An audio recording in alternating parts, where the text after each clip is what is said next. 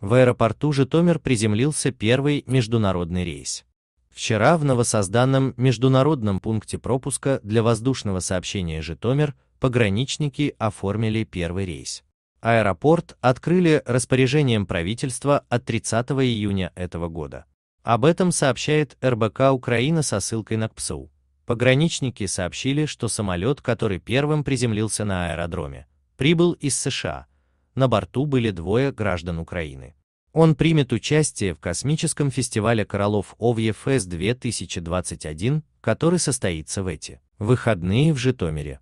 Ранее международный аэропорт Ужгород возобновил полноценную работу.